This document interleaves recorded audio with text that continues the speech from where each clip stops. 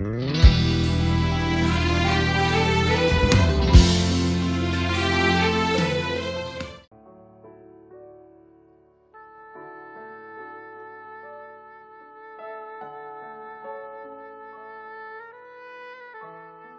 bir hayat yaşadım ki cenneti de gördüm, cehennemi.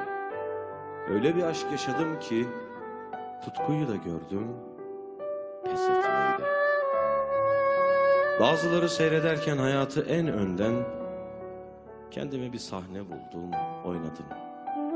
Öyle bir rol vermişler ki okudum, okudum, okudum, anlamadım.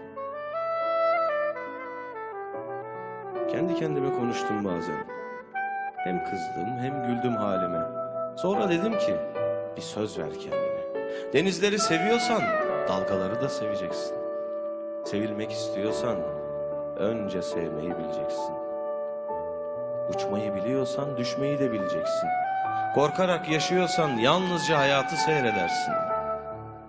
Öyle bir hayat yaşadım ki son yolculukları erken tanıdım. Öyle çok değerliymiş ki zaman hep acele etmem bundan.